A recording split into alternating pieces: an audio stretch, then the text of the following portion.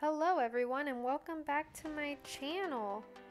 As always, if there's a game you would like me to play, drop it down in the comments below and I would love to try it out. So today's episode is a little longer. I wasn't sure if I wanted to break it down into three separate videos and then be about 8 to 10 minutes or just make one long video.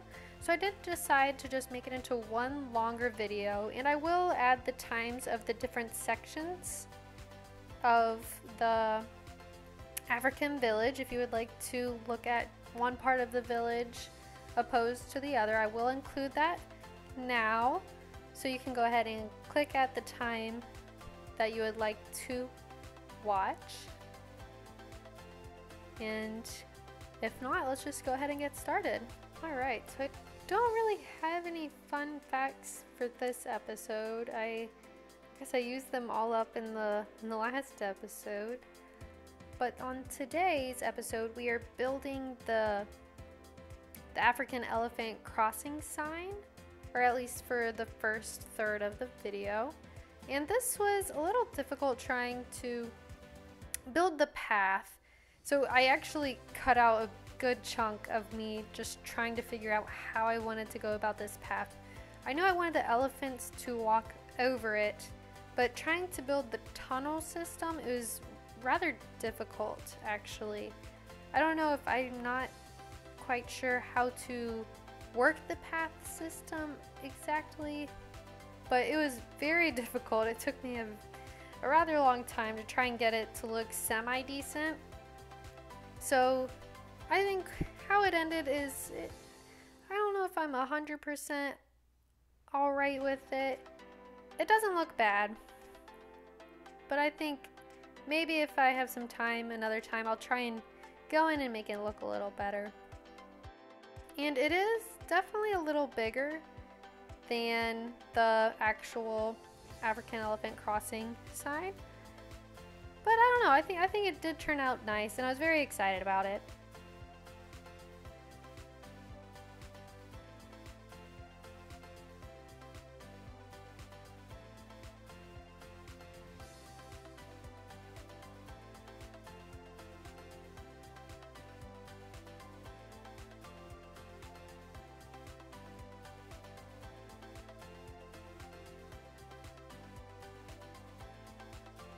So it was a little hard trying to get everything lined up straight and perfect. But I know ever since I started using the the lock, the lock rotation, it's definitely helped out a lot on making sure things are like symmetrical and even. So that's helped out a lot. And I definitely learn something new every time I make a new video and record something. I'll find something new that I didn't know they had. I'm like, oh, this is cool. I can use this um, to do this, or this would look cool if I use it as that. And so I'm very excited that I just get to learn every time I record. I just learn something new, and I, I think I definitely improve with each video, and I'm very excited about that. And I also hope that when you're watching these videos that there's something that you learn too. Like you didn't know you could use something in a way that you thought, oh, like in the first video when I used the water fountain as the the base of the the poles, I use the top of the water fountain, you know, just shove things down. It's it's just fun how you can just mess around with things and then something cool will come out of it.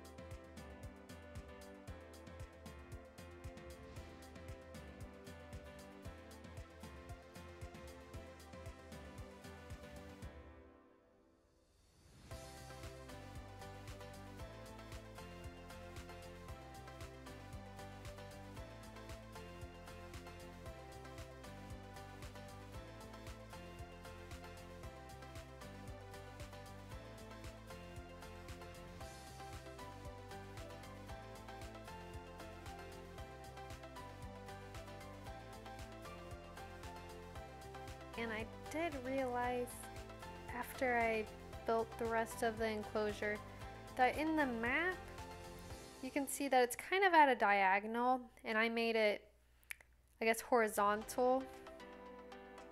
Which I guess eh, you know it's alright because this isn't going to be an exact replica of the Cleveland Zoo. You know I'll see things and I'll think oh this you know this would look cooler if I did it this way or this would look better if I did it this way you know and they, there isn't you just can't make an exact replica but I think in, I think it's gonna end up really cool. I'm very excited about it. And one thing that I did also find out is plants. If you just put plants in trees and shrubbery, if you just throw them around, I think it makes your habitat in your zoo just look more full and finished and and not so bare because I'm, as you'll see in a moment, I start putting plants around and trees and shrubbery around this little entranceway and it just makes it look so much better. Not only for, for the zoo, but even when you just take some screenshots, it looks better when there's not just open land just hanging out in the back. It, it just looks so nice once you put all these plants around.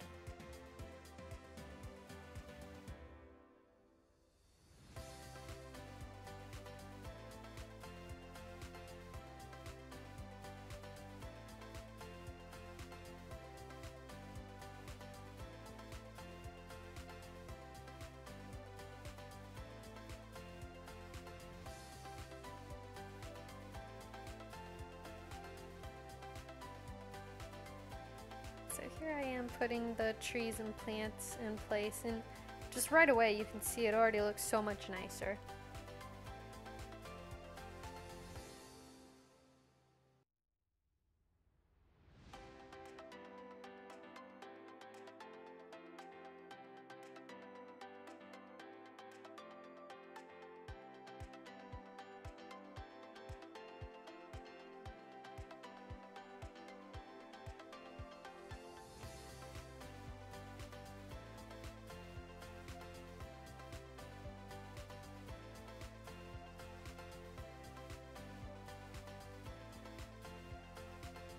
Yeah, so here I am still struggling with the path. I don't know if there's an easier way to go about it or if paths are just very difficult to work with. And lately I've been running into an issue where it says a terrain modification. Like the paths just won't work, they won't place, but sometimes they will and sometimes they won't. I'm not sure if that's that's a bug or if I'm just doing something wrong. I don't know. I've just been having a lot of issues with that lately. And it's been kind of frustrating because I just want to put a path down and it's like, nope, try again.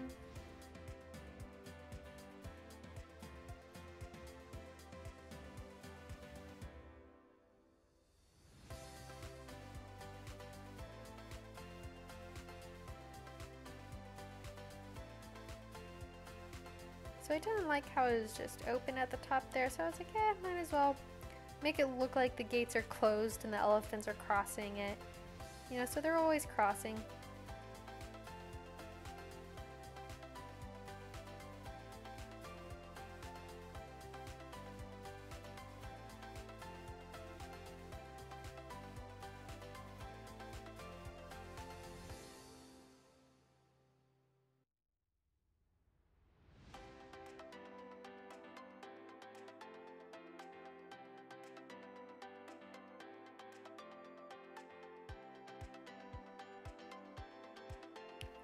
So here's the finished product of the elephant crossing gate. I am actually very excited with how it turned out. I think I think it resembles it pretty well and I and I like the idea of the people walking under instead of over. That way it doesn't interfere with the elephant's habitat and I'm just very excited and pleased with how that turned out. Now we're going to work on the African village. So at the Cleveland Zoo, this little space in between the elephant's habitat, they call the African village.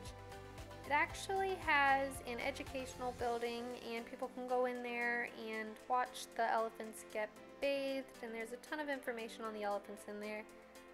So I actually just made it a restroom and uh, there's just a few food items in there. And this building, it was, it was kind of difficult. I made it in such a weird shape and it's three different units, I guess. So it was very difficult to actually put a roof on there. As you'll see later, it's, it's, uh, yeah, it's a mess. But I think in the end it turned out alright.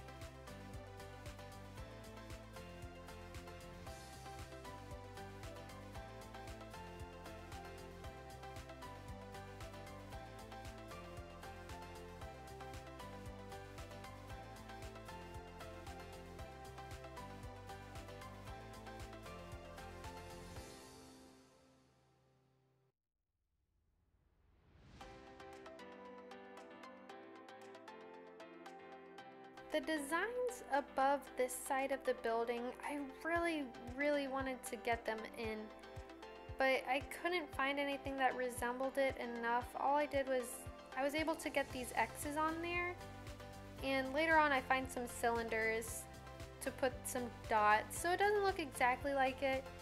I think it's similar enough, but I, I wish I could have made it, made it look a little more like the actual building.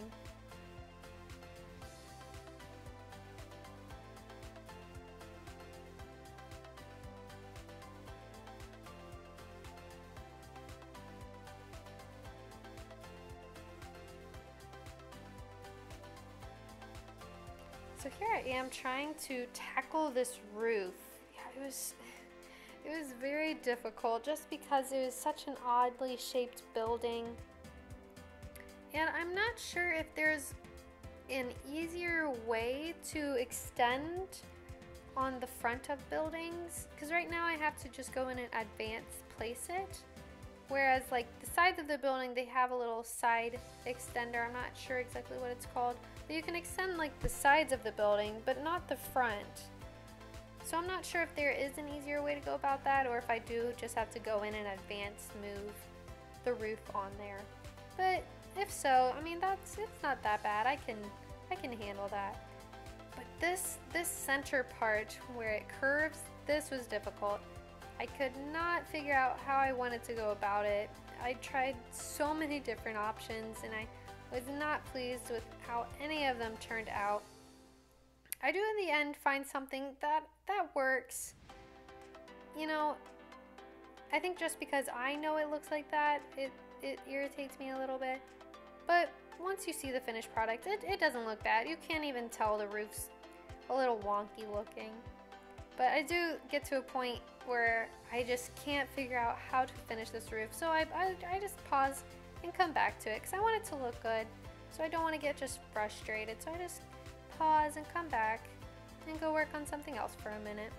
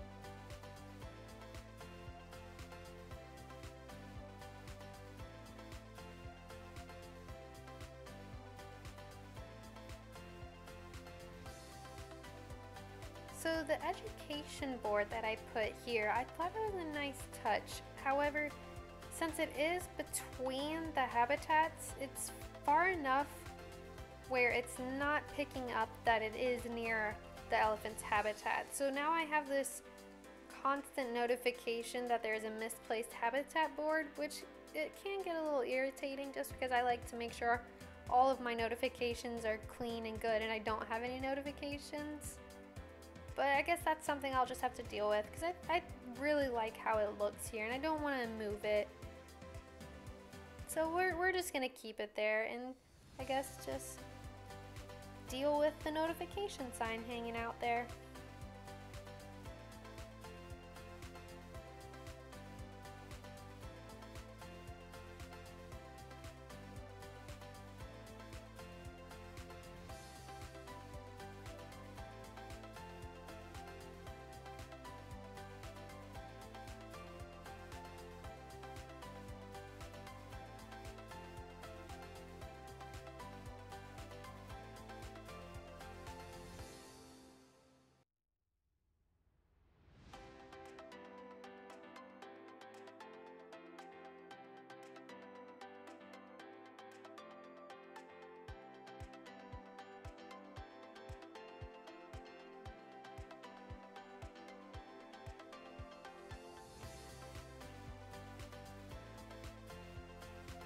So here's where I found the cylinders and I decided these will do. They'll work for, for a nice little design. Yeah, it, doesn't look exactly like the design on the building, but I think it adds a, a nice touch to it.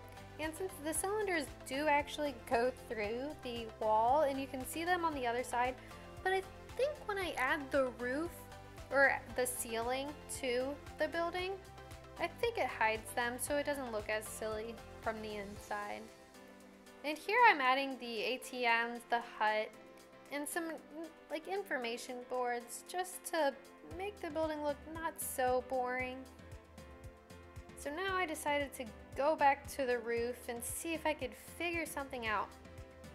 This was, I don't know why this was just so difficult. And I, I didn't like those, so I did decide to just come to these shapes and see if there was something there that worked. So I did find these these half circles combined with a square, those worked out. And then once I changed them to a deep red color, you honestly can't really tell that those are there. Maybe if you look real close, but I think for for this job, I think it, it looks pretty, pretty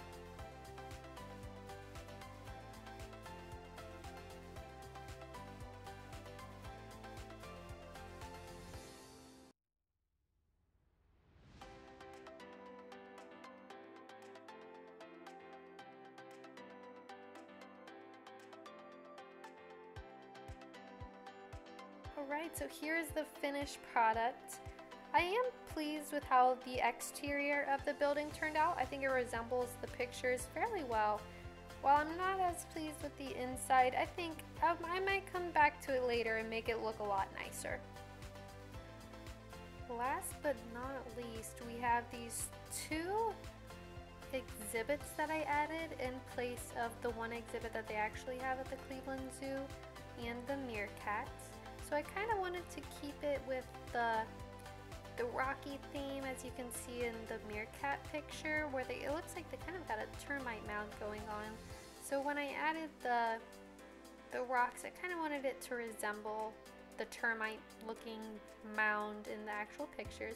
And I was actually very happy with how these exhibits turned out. I I wanted to get the huts in there and I wasn't sure if I can make the square exhibits look good in the circular huts, but I think it actually turned out very nice. So now I'm just adding the flooring so that you just, so that you don't see the ground, because I thought that would take away from the experience of looking inside this hut. And then I do add these these tree branches and pottery in there just to give it a nice look and some dimension and not that it's just a plain, boring exhibit. You know, I wanted, wanted it to be something nice to look at.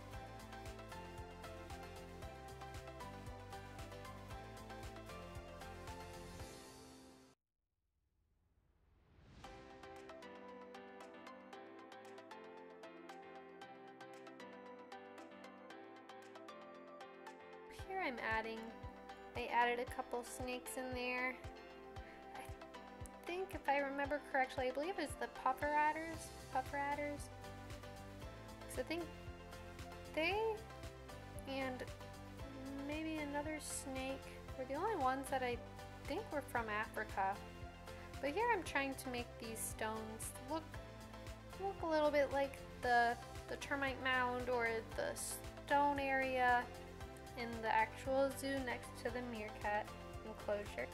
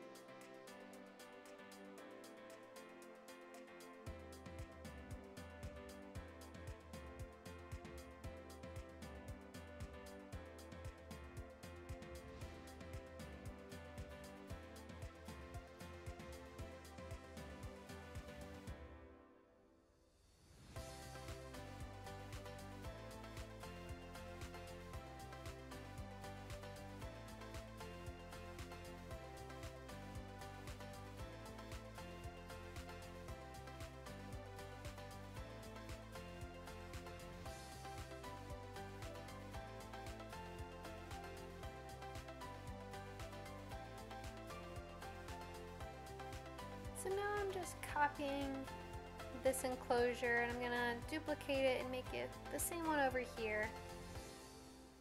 And I, I know I keep saying this, but I am very pleased and excited with how everything's turning out so far. You know, I've got the reference photos for guidance, but I like how I'm adding my own little touch to everything too. I think it's just, I'm very, very pleased with how the zoo's turning out, and I hope you are too.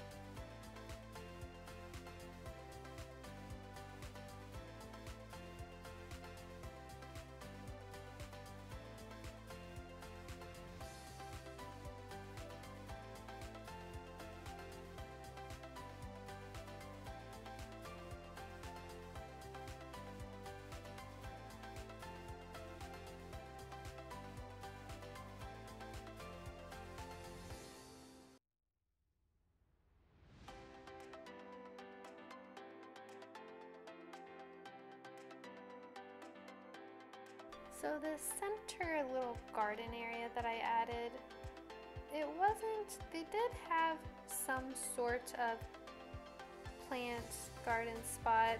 I couldn't find any pictures that I could see it very clearly and very well.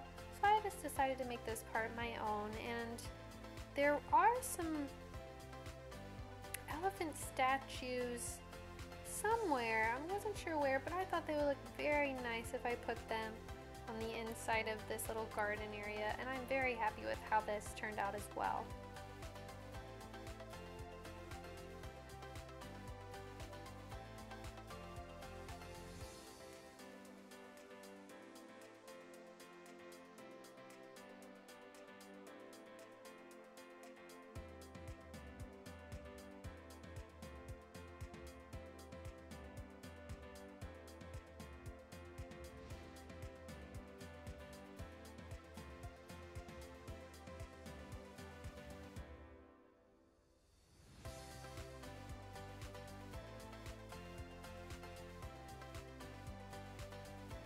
Alright, so here is the finished African village. I am very, very pleased with how this turned out. I think it looks very nice and I hope you enjoyed it as well.